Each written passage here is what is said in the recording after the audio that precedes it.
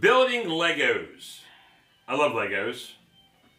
I need to actually like build some Lego because I have like what one, two, three, four, You have a lot.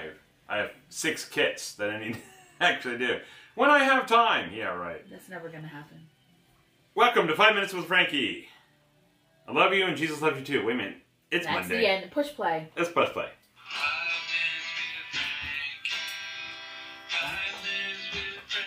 With me, Mario.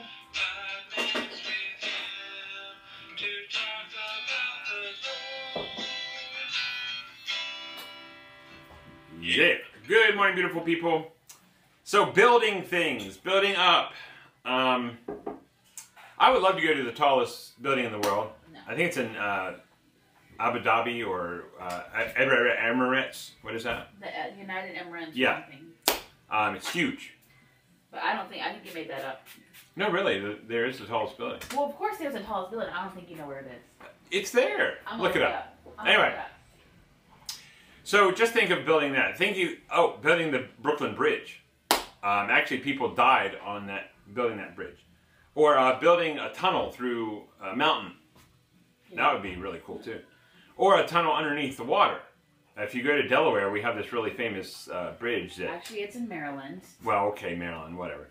Uh, Maryland to Virginia, um, and uh, you go under and you come up, and then there's like a, a The- restaurant right in the middle of it. The restaurant's gone. No, Somebody told me, I forget who it was, said that they've been on it and the restaurant's gone.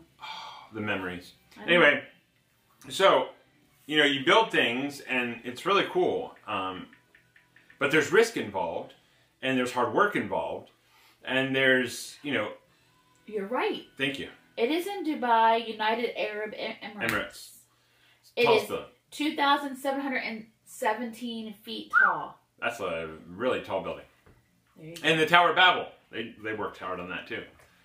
So, you know, you work hard building these things, and um, if you don't have the right foundation, it crashes, it, it, it's done. You have to have a good foundation. And then you build from there. Well, Ephesians chapter 2, verse 22 gives us the foundation of what our Christianity should be based on. The cool thing is that we base it on this, and he never moves. Never. It's a permanent foundation. He's a permanent foundation. He is. Oh my goodness, permanent foundation. He he literally has not moved in his position on things since the creation of time.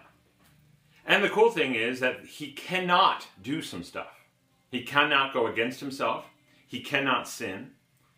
He cannot put you into sin. God is our foundation. So a Ephesians permanent foundation. Permanent foundation. Ephesians chapter 2, verse 22. So think of Legos, think of building these beautiful buildings and these things. Here we go. In him you also are being built together. Now, now listen to that. In him you also are being built together. So that has the idea that there are other people, other things that are being built together on this foundation. So we do need each other. We do need to come to church and come to Bible study and and be with other Christians to build this together. In him you also are being built up together into a dwelling place for God by the Spirit. And so where does the Spirit dwell? Well, the Spirit's inside it. Is the Spirit dwells inside of us, and we are called the church. We are not a physical building. We are a spiritual building being built up with God. And so, what does a spiritual building need? Well, it needs a foundation, first of all, which is God. It needs a to be permanent foundation. a permanent foundation. It needs to be built up together with other people. It needs to have everybody working together to the same goal and serving each other and serving the world and serving others. And it needs to have people working out these things in their life, even if it hurts, even if if there's bumps and bruises or nails in the wrong place or you know lights are in the wrong place, we got to move them. But we have to build together, and when we build, it's going to hurt. We're going to have some times that we disagree, but at least we have the foundation where we agree, and we build from there. And that's why I don't understand denominations or other things because we're all going towards God. We need to have Him as the foundation and build together.